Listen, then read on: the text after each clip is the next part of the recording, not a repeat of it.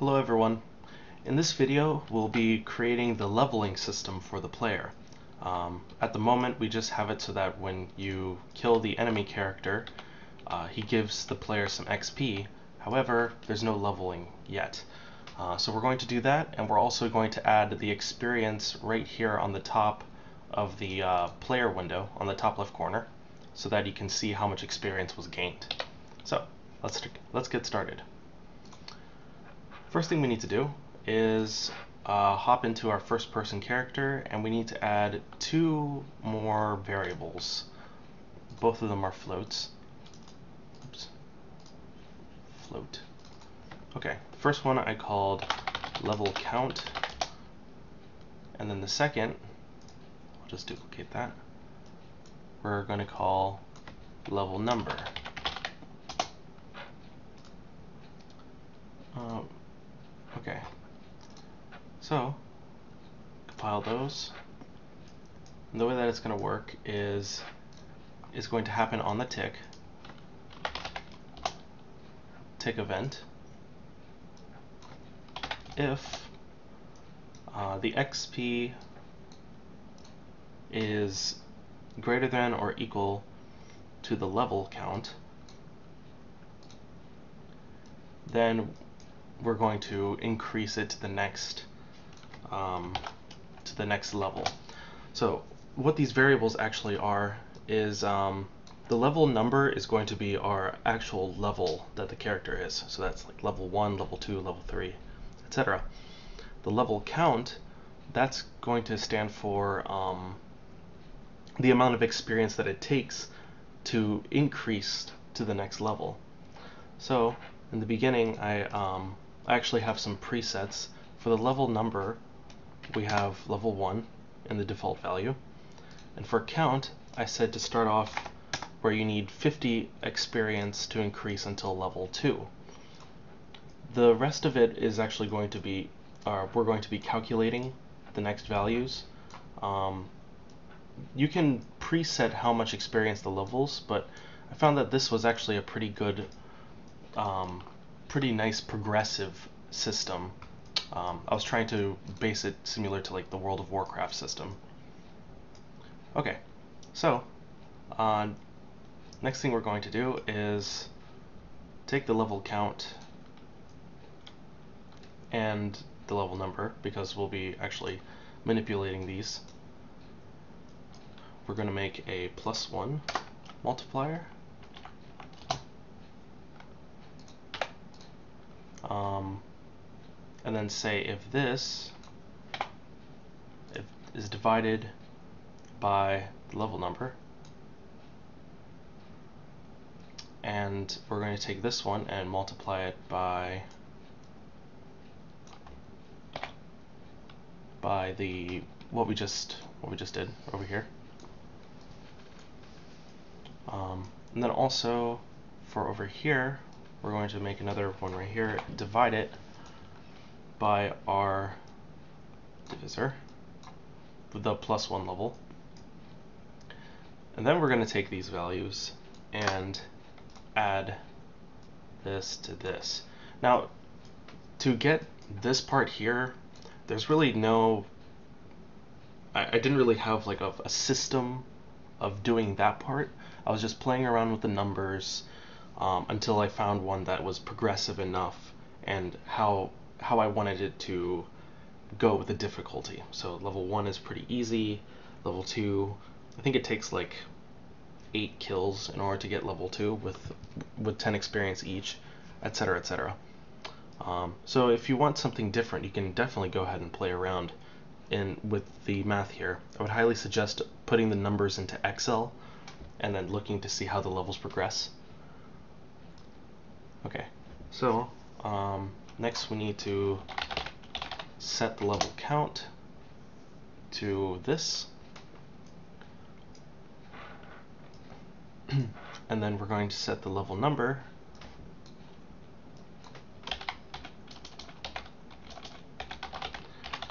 to that plus one that we had over here.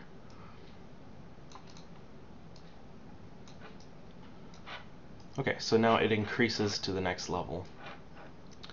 Um, and if you want to see how this is going, uh, I actually have these things over here, which I will just paste. And um, can just pump the count into this float and the number level into this one. This is using the build string.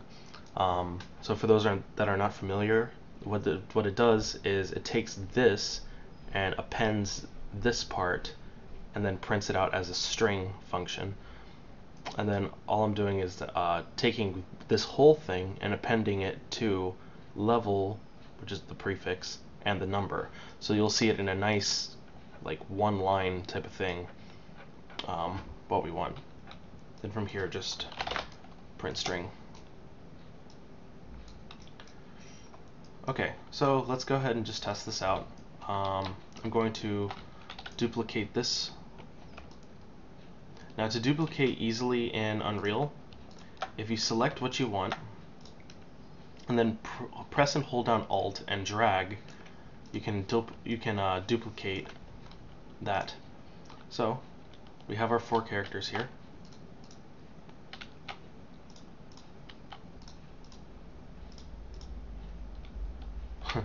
okay. Um, hold on a second. Let's make some more enemy characters.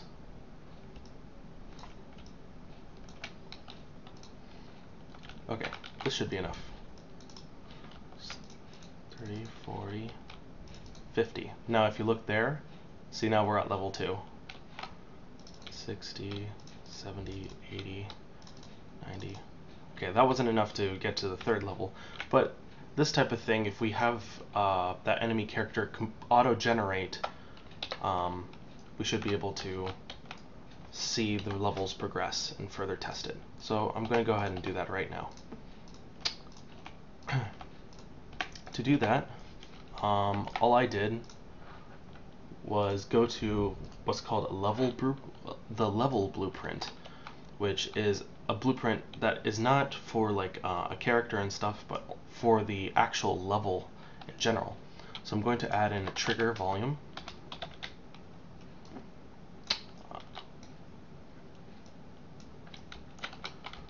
And go like this. Subtract. Alright, uh, open the level blueprint. So we have this over here. And I'm just saying that when you begin the level to uh, spawn an actor. The actor is going to be the uh, enemy character. The spawn point, we're going to get the uh, trigger volume location, which if you have it selected already, you can create a reference to it. So that's in the level. And then uh, get the actor location, and then we're going to say uh, get a random point in the radius and just convert that to that. Everything else is fine and then I'm going to be just setting it on a timer. So delay, let's say every two seconds and then just loop it back. Um, this is like a quick and dirty loop function.